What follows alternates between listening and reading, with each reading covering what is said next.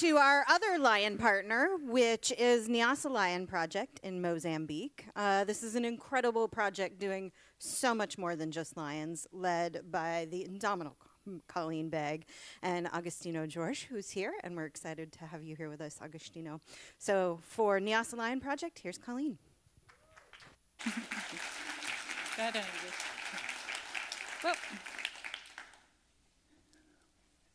it's wonderful to be face to face so that we can see eye to eye. The only way in which we can have a conversation and build a community for conservation is if we get together and do it together.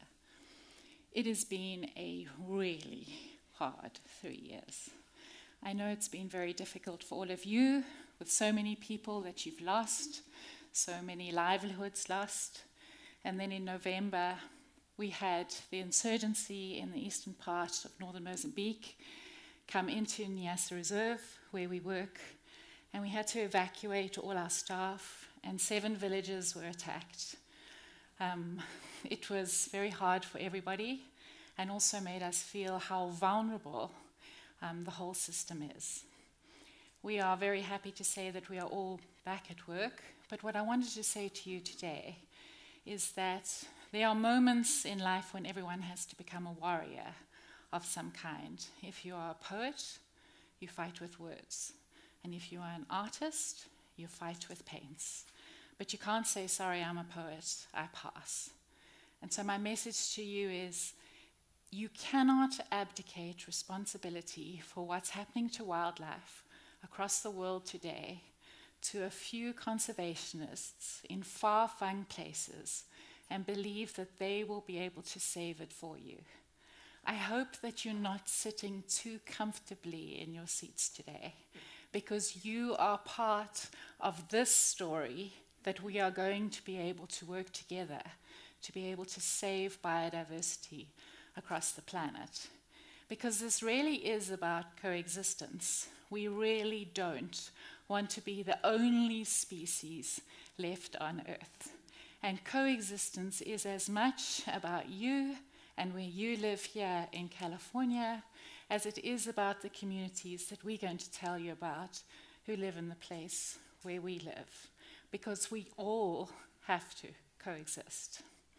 And if we look at the map, of where the lion range is at the moment, these small pockets of lions across Africa that the Lion Recovery Fund of WCN are trying so hard to save, it is going to be an act of radical imagination to be able to save them.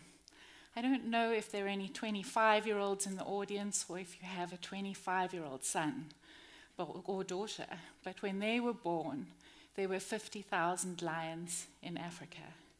Today, there are 25,000 lions, more or less, in Africa. I'm 53. How many lions will there be when that person is the same age as I am? And I know that you care about many species, as do I. But this is the story of all the conservationists.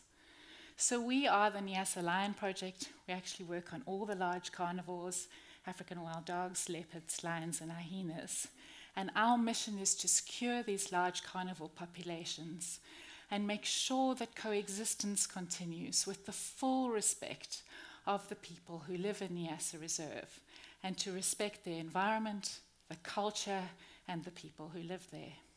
I work in a place that many of you have already heard about in northern Mozambique, which is midway between the coast and Pemba and Lake Malawi. It's on the border with Tanzania.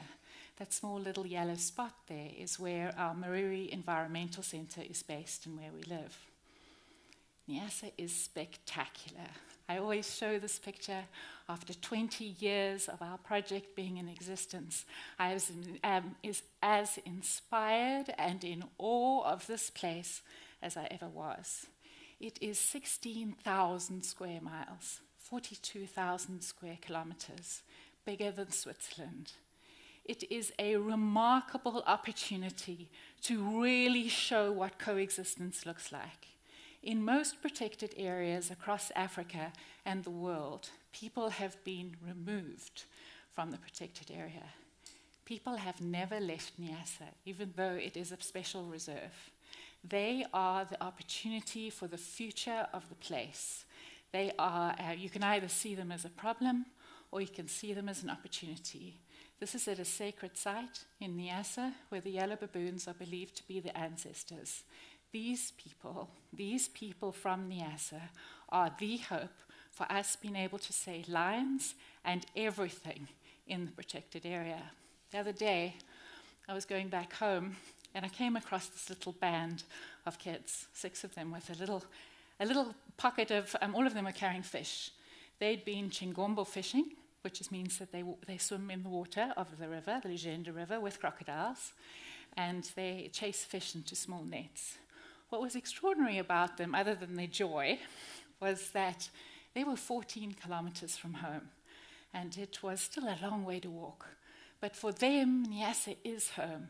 And we have to get past this idea that home is only where your house is. For people who live in these wilderness areas, it's all home.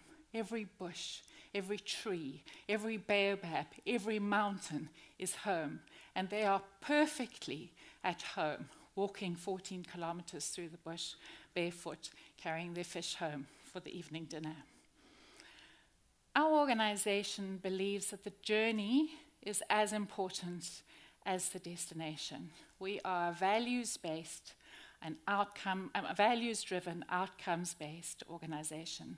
This means that our values are very, very important to us and we're developed together with our whole team. First and foremost is respect respect for each other, respect for the environment, respect for culture. The second is shova shova, which means I give, you give. It's a local word which really kind of means collaboration, but a little bit more than that. Communication. Most of the conflict we have is when we don't communicate. Inclusion. Everybody's voice matters. Opportunities to learn. Everybody needs to grow. It doesn't matter where you are in the organization, we need to provide opportunities so that everybody has room to mo- move up. I need to use my privilege and my influence to open the doors for others and teamwork. so many times in this audience, people have asked me, but what about the women? Where are the women? Well, it's taken us a long time. But we are slowly but surely getting to gender equity in our organization. And the women bring a very important part of our organization, just like Ewaso Lions. But it's not just about the women. It's about having young and old, and mechanics and PhDs. It has, we have four different languages we're translating. It's about those who have lived experience and those who have learned experience about, the, about Niassa Reserve. It is about all those voices coming together for a future. When I think about our journey over the last 20 years, it's very hard for me to visualize it. It's hard to visualize it with lions, but you can visualize it with people. This is 2008 when Agostino first joined us. You can see for our children, who are now 13 and 15, how much time has passed. This is our team now. We have 106 permanent employers. We're all African. Everybody's Mozambican except for Keith and I. And 85% come from the villages inside Niassa Reserve. The bottom line is our management team, and they are incredible. And in May 2028, Keith and I will be stepping out and handing it over. And that has always been our intention.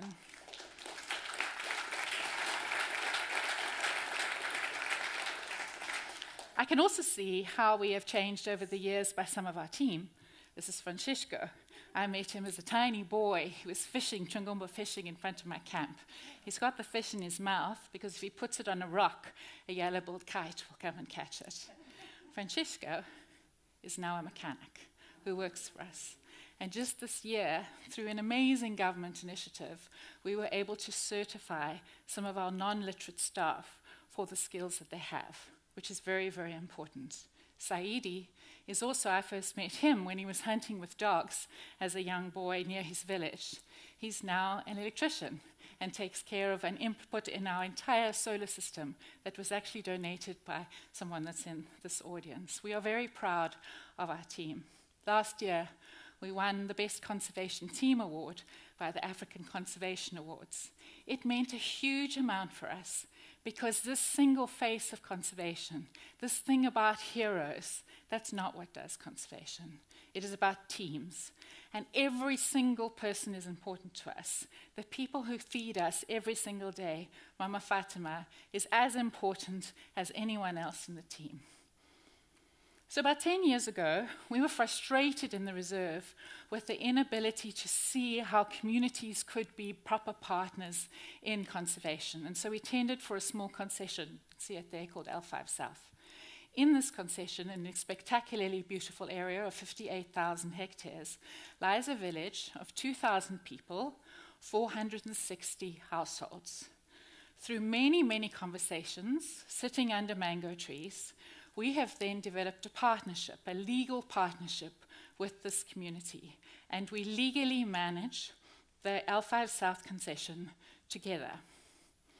First of all, we needed to stop the loss. We needed to remove the snares, get rid of the illegal mining. So we have 38 anti-poaching scouts which work across the area.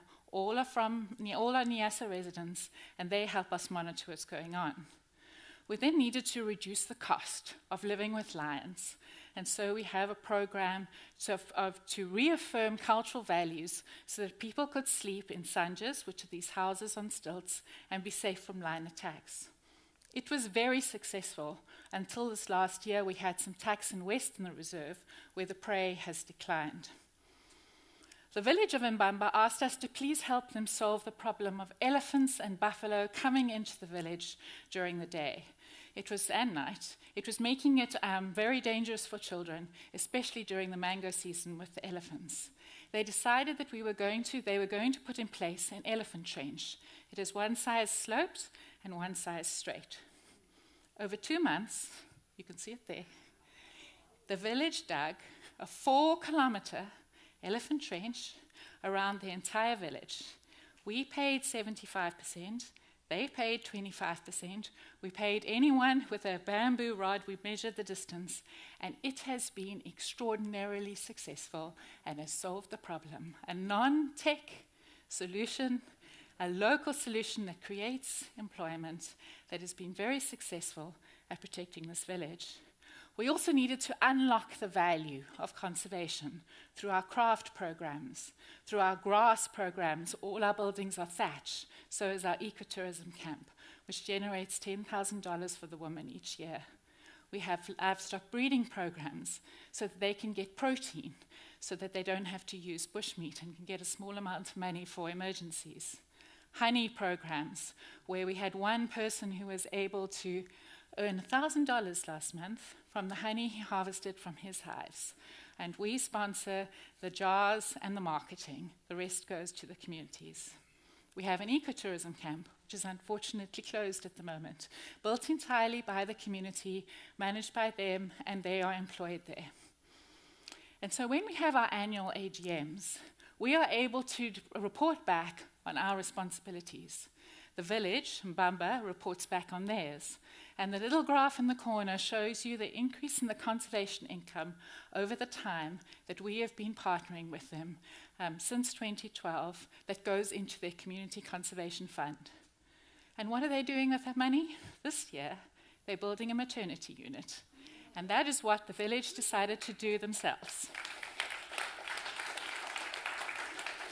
But what's extraordinary about this maternity unit is the plans were drawn by a man from Mbamba it's managed by the chiefs of Mbamba. The people who are building it from Mbamba. All the bricks were made by Mbamba, and every single aspect of it is being done by them with money and income that comes from conservation. And what else can we see as results? We can see that all the game and all the prey have increased. We're seeing lions in the day.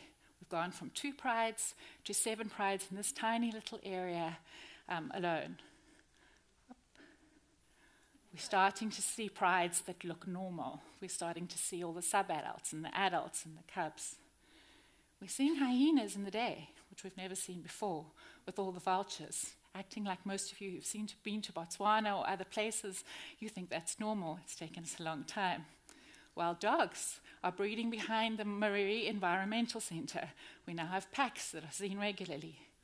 And this picture that Keith took the other day, you have to look at his hind legs. Look how relaxed he is. so, if you want to see a symbol of success, it's those back legs of that leopard. He is completely relaxed in the day. That's what coexistence looks like. That's when you partner with a community. Remember, there are 2,000 people living in this area inside the special reserve. We have more than 200 children that come to the environmental centre from across the districts in Niassa, and they get to be tourists. I always have a problem with ecotourism, which, which takes the best places for people from outside to see wildlife. So we've made sure that we bring the people who live in Niassa to come and see the wildlife. But it's not all good news, because we know this works, and we've proven it works. But lions continue to decline across the whole of Niassa Reserve. And one of our major problems is poisoning and for a teeth and claw trade that is coming from the international market. So that picture that I showed you was in July this year. We have an extraordinary problem on our hands that started in 2015, where lions are being poisoned simply to cut off their paws and take their jaws, so that for the trinket trade, which is going to Asia. We can't solve that by having a small concession. It's much bigger than, than that, which is why I said that you all count. It counts, everybody counts. So we have now started a project through, for collaboration. Um, we're working with partners across the whole of the reserve to set up intensive protection zones for lions that are about the same size as the small concession we've had such success. This is a recent meeting, workshop that we had. The Chanaria came from Waso to help us.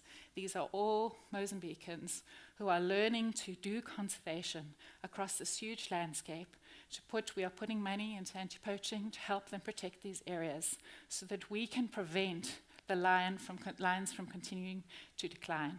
We have more than 16 lion prides collared at the moment, and these are followed um, in these intensive protection zones to be able to protect them. These will form the source populations in Niassa so that as the population starts to decline, we have some secure areas that can continue to support them.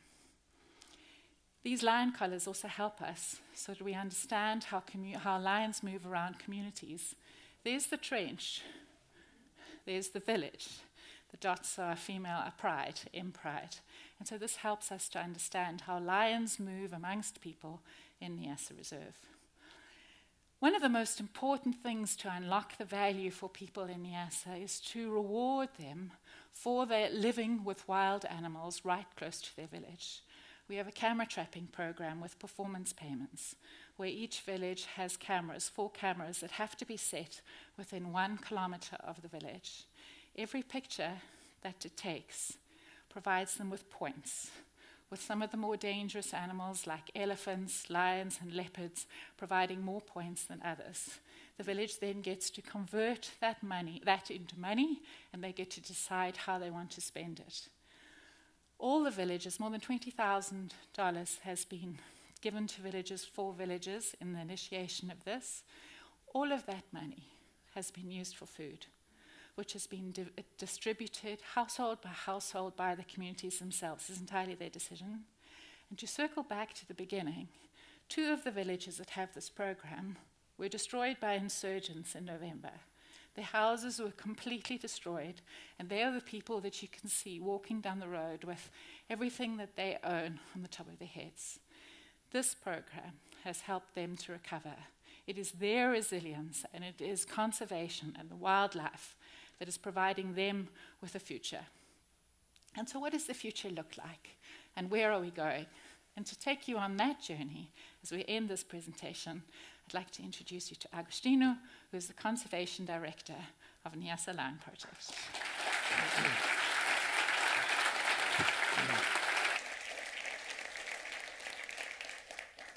Thank you so much, Colleen.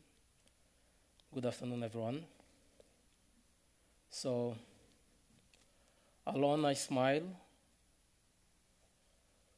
together we laugh. Alone I say, together we talk. Alone, I enjoy. Together, we celebrate. We would like to keep talking about opportunities to engage communities. We would like to keep talking about opportunities to make conservation relevant. We would like to keep talking about innovative ways to make uh, conservation deliver in these challenging days. In this picture, we have uh, a very important meeting where we are co-creating the future with the, our partner community, Mbamba village. We have Mama Bibi Amisi telling her story. A story where she saved her, her husband that was being attacked by a male lion. It was a sad story, but with a positive uh, result. She was sharing with the village what she learned based on that terrific experience. The most amazing thing was that she could recognize what she did, what they did wrong. She did not put the blame on the animal. On the other hand, we have Eusebio, one of the greatest trackers we have probably in Mozambique, lion trackers we have in Mozambique. Eusebio is talking to the village on how we would like to uh, make sure that more kids can have this experience with lions. He wants to take more kids to see lions in the bush. He wants to take more kids to enjoy, to experience lions in a positive way. These conversations are important. It's important that we engage with these communities. It's important that we co create the future with them. Equally important is the health, the well being of our most important partners, the communities. We want, we, we want to continue bring in doctors to look after the health of our people because we believe that their well being is important. We want them to be healthy and strong for the long journey we have together. We strongly believe in giving back to, to conservation is one of our core, core value. Colleen mentioned about Chova Chova, which is a bit more than collaboration. In this picture, we have our colleague, Kiteria, in our exchange experience visit in Gonarezhou. Kiteria and her amazing small team are doing fantastic, fantastic work, helping uh, about six organizations improving their monitoring capacity. So Kiter is taking all her all that we're learning in terms of monitoring and is helping organizations, technicians in these organizations to build the capacity in terms of monitoring, how to track lions, how to use the data to inform conservation decision. That's very important because there are things that took us years to learn. But through this kind of collaboration, it's amazing that these technicians can deliver important results, can start producing uh, important reports in less than two months. That's what collaboration is. That's what we should do in conservation. That's the future of conservation. We care about wildlife. And that's the way of uh, scaling without growing. Through this kind of approach, we're able to reach organizations that are as far as 1,000 kilometers away from us. So we are able to save and have impact over thousands of animals that we wouldn't be able to, to do another way. we would like to continue make sure that we meet the basic needs of our partners, which are the communities, because we believe that it's important. We, we cannot expect them to have these important conversations with empty stomach. And we believe that if we look after these communities, we'd not, we'd not need to worry about wildlife. In this picture, we have a few relaxed islands, a few meters away from the village. And we would like to make sure that, like these islands, we can have more, continue having a, lots of wildlife, enjoying the peace around the village. That the, vil- the community can continue hearing the roaring of the lions in the nights without worrying. We all have power as individuals. We have power as group. We can make sure that we, we are not the last generations enjoying the privilege of celebrating lions. This expo is very important in the sense that we are also co-creating the future. In the same way that we had those important meetings with the village where B- Mama Bibi was telling, telling her stories, where Eusebio was also telling how he wants the kids to enjoy lions in the future. This moment is also important for us. This conversation matters. We are putting on the ground really important seeds to make sure that next, next generations can celebrate the lions. We are getting close to the end. When we finalize the, the, the our uh, meetings with communities under the mango trees, we have a ritual that we would like to uh, use here, if you don't mind. I would like us to make a hoye for conservation. So I will show how, we, how you do, and then I will ask you to repeat. I want, I want all, everyone to stand, please.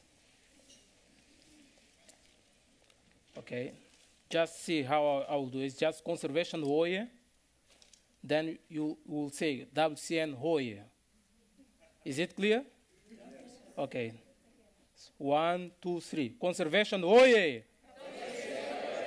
WCN hoye. Thank you so much.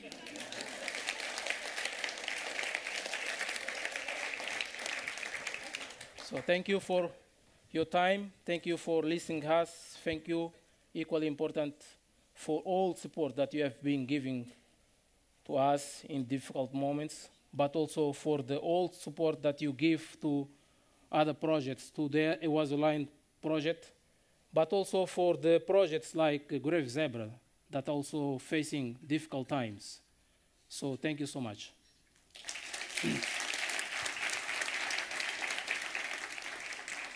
Great. I think we are out of time for questions because we're running a little bit behind.